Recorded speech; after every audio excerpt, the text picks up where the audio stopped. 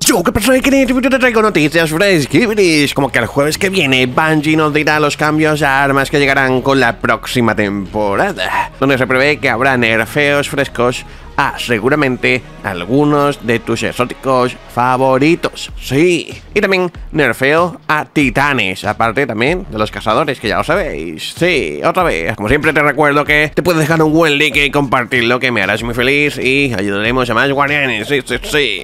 Así que vayamos al lío en este vídeo, como siempre pues te lo puedes dejar de fondo mientras haces tus cositas en Destiny o en la vida real. Y de mientras te enteras de lo que está pasando. De fondo tendrás ahí gameplay, pues sin más, ya está. Bien, primero de todo, DMG dijo en Twitter hace unas horas que el siguiente jueves se vendrá una preview de los cambios a armas que llegarán próximamente. Ese blog será bastante grande porque tendrá más de 5.000 palabras. Y ahí nos dirán qué armas serán nerfeadas y otras posiblemente mejoradas, esperemos. Pero ya tenemos una pequeña info de cuál arma o armas podría o podrían ser nerfeadas. Sí, pero antes de eso, vamos a hablar sobre el crisol, porque DMG también ha hablado del crisol y de su matchmaking. Sí, ya sabéis, bueno, si has jugado últimamente al crisol o llevas jugando un par de semanas o incluso meses, pues probablemente te hayas encontrado con una situación en la que, sí, puedes derrotar bastantes enemigos, pero al final pierdes la partida por un amplio margen. Y esto es debido al Team Balancing, donde DMG también ha expuesto pues un texto sobre este tema. Primero de todo, el matchmaking siempre ha sido un problema en Destiny desde hace años y se le echa la culpa constantemente a la evolución del matchmaking basado en habilidad, que sería Skill Based Matchmaking. Matchmaking por búsqueda por habilidad, ya está. Ahora Bungie ha intervenido para decir que, si bien reconocen que esto es un problema, nos dicen que el Skill Base no está activado. Esto es lo que nos dijo DMG. Nos dice que solo para mantener las cosas bien claritas. Literalmente, desactivamos el emparejamiento basado en habilidad, es decir, el Skill Based Matchmaking, en la mayoría de las listas de juego del Crisol hace varios años. Esto fue gracias a los comentarios de guardianes de alta habilidad y ahora tenemos más sentimientos negativos sobre el emparejamiento que nunca. Esto no solo proviene de guardianes de alta habilidad, sino también de muchos de baja habilidad que con frecuencia se enfrentan a guardianes que están fuera de su habilidad.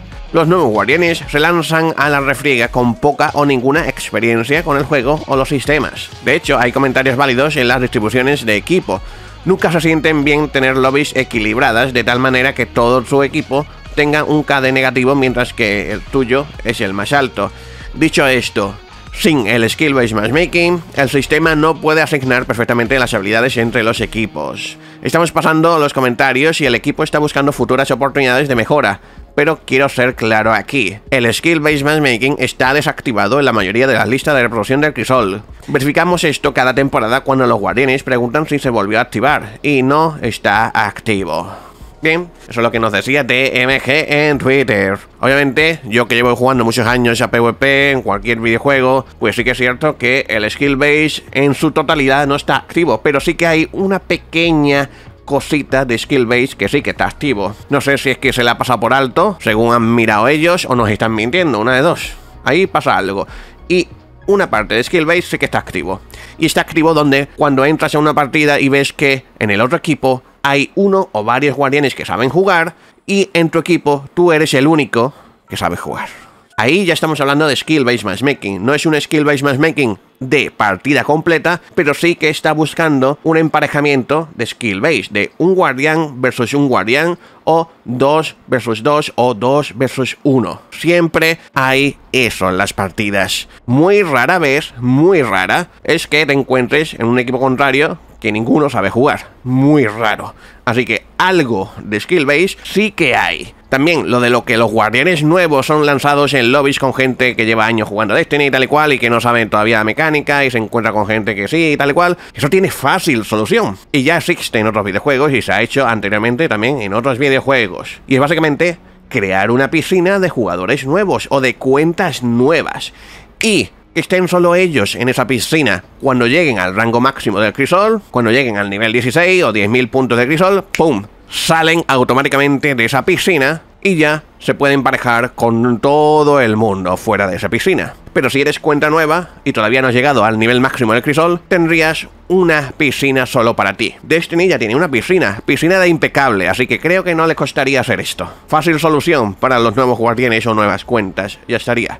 Las nuevas cuentas jugarían contra ellos y así irían aprendiendo conforme van subiendo de rango del crisol y cuando llega al rango máximo, ¡pum! Ya te vas a enfrentar con la gente mayor. Ahora, ¿cómo solucionamos el problema de matchmaking? Quitando, eliminando por completo el skill-based matchmaking en modos donde no hace falta el skill-based matchmaking. Es posible que con estos comentarios DMG nos esté diciendo ya que alguna forma de skill-based matchmaking más completo pueda ser activado en las próximas temporadas. ¿Te gustaría ver el skill-based matchmaking?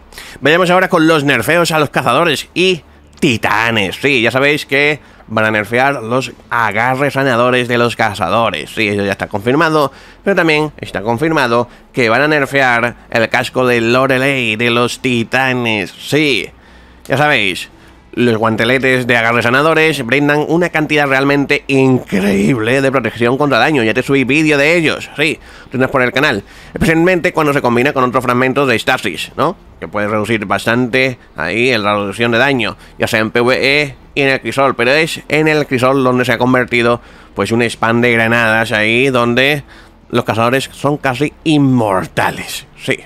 Y por otro lado, tenemos el casco de titanes Lorelei, donde está demostrando ser un exótico extremadamente extraño, ya que fue nerfeado al poco tiempo de lanzarse la reina bruja. Pero lo nerfearon donde ahora activarlo requiere gastar tu barricada. Bien, para PvE sí que se ha notado muchísimo ese nerfeo, pero para el crisol no se ha notado nada ese nerfeo lo que se traduce en que activar la barricada puedes derrotar a guardianes de un solo disparo. También te traje vídeo de esto.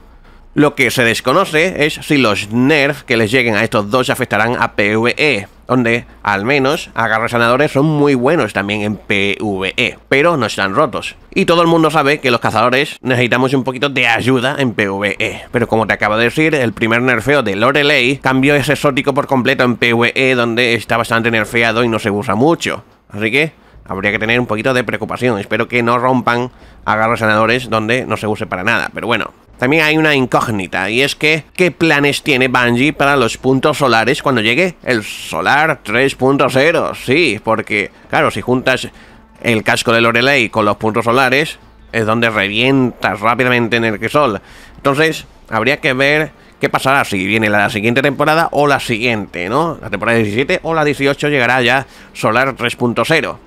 Y habría que ver qué pasará con estos puntos solares, porque es donde realmente rompen el casco de Lorelei. Igualmente, recordáis que Bungie ya dijo hace unos meses que querían reducir el uso de habilidades en el crisol, pues con estos dos exóticos realmente eso no está siendo cierto, sino que se está spameando muchas más habilidades e incluso con el vacío 3.0 se están usando incluso más habilidades aún. Así que bueno, al parecer se quieren enfocar en las armas en un 60% armas y un 40% habilidades, pero parece que todavía las habilidades están bastante altas, sobre todo con este vacío 3.0 y estos dos exóticos. Sí, déjame en los comentarios qué piensas al respecto. Y por último, vamos con un arma exótica, seguramente una de tus favoritas, donde podría ser nerfeada, sí, porque esta arma está dominando en muchos, no, en todos los aspectos de Destiny. Está dominando en PvE, cualquier actividad de PvE, y también está dominando en PvP Crisol, cualquier actividad de PvP Crisol, sí. Ya sabéis que las metas de Destiny 2 van y vienen. Sí, cada temporada pues hay mejores armas y otras pues se nerfean o se mejoran y tal y cual y va cambiando. Y también con los modificadores de artefactos empiezan a usar otras armas, pero ya sabéis que desde el 30 aniversario más o menos tenemos una meta bastante pues ahí fija, ¿no? Y el campeón que está reinando en todo Destiny es un exótico que regresó desde Destiny 1 y es tu querido Jalarhome, que en Destiny 2, gracias a su catalizador y super exclusiva, es aún más poderoso en Destiny 2, porque ya sabéis que le puedes dar munición lupina a tus compañeros, simplemente por disparar un Jalarhome. Y con el catalizador tienes dos disparos seguidos, ahí papá. Listo. Entonces, ¿qué tan dominante está Yalarhome actualmente? Bueno, pues el Yalarhome se ha usado por un 51% de los guardianes durante mazmorras. Sí, Yalarhome también se ha usado por el 52% de los guardianes en pruebas de cities. Yalarhome se ha usado por el 67% de los guardianes en la incursión voto del discípulo. Yalarjón se ha usado por el 66% de los guardianes en Gambito. Y por último, Yalarjón se ha usado por el 71% de los guardianes durante ocasos. ¿Hay algo que se le acerque? Bueno, el subcampeón en el slot pesada sería el lanzacohetes de leyenda Palmira B, que por lo general se usa entre un 10 y un 15% de los guardianes. Luego, en el slot energético tenemos a Atlas Robustus, que se está usando por el alrededor de un 40% del tiempo. Muy alto, la verdad. Pero no al nivel que estamos viendo de Yalarjón. Y para principales, depende realmente de la actividad. Se está usando mucho Marchitador, Osteostriga y Arbalesta. Y para las armas de leyenda, parece que a los guardianes les gusta el nuevo automático de estasis Krayt. Pero ninguno de estos supera a Yalarjón en tanto uso. Entonces, ¿llegaría Nerf a Yalarjón? Posiblemente sí. Recuerda que Yalarjón ya sufrió un nerfeo y es en cuanto a seguimiento de guardianes, es decir, la fijación a guardianes se le vio un poquito nerfeado. Posiblemente volvería a ser nerfeado, pero no creo que llegue a tal magnitud como se nerfeó en Destiny 1, porque es que claro, es que en Destiny 1 era literalmente la única opción para daño. No había otro. Pero aquí en Destiny 2 tenemos muchas opciones, pero no sé, no sé qué piensas tú sobre qué le pueden hacer a Yalarjón o si piensas que con estos datos, porque obviamente Bungie no es ciego, esto lo podemos ver nosotros con el bot de Magno, pero Bungie ve todos estos datos también, así que... ¿Qué piensas tú? Déjame en los comentarios, déjate un like, compártelo, suscríbete para más. Nos vemos por Twitch y por las estrellas. Muchas gracias.